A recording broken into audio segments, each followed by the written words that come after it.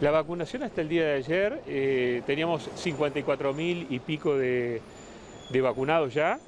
y se enlentece este jueves y viernes, pocos anotados, entre en torno de 10.000 y 8.000 anotados. Exhortamos a la población a vacunarse seguramente porque la segunda dosis cae en jueves y viernes santo,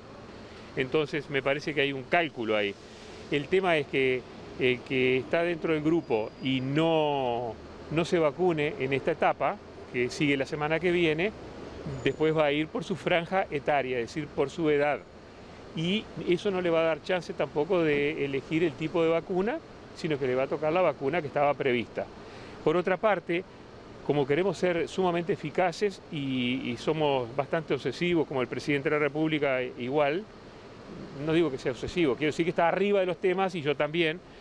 eh, eh, vamos a, abrir eh, la agenda para hemodializados crónicos, y pacientes que estén en plan de pretrasplante. Eh, también tenemos eh, todo el tema de las personas privadas de libertad eh, y operadores carcelarios. Entonces, en ese sentido, vamos a ir abriendo. Y también la franja etaria de 55 a 59 años, que lo vamos a anunciar, probablemente se esté abriendo en el día de hoy.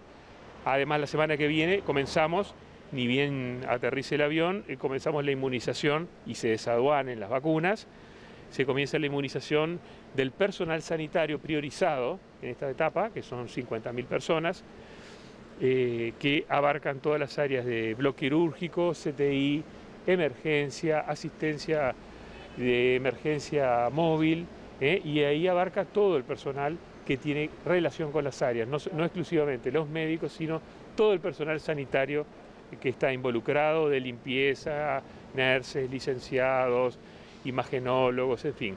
todo el personal sanitario de esas áreas priorizadas.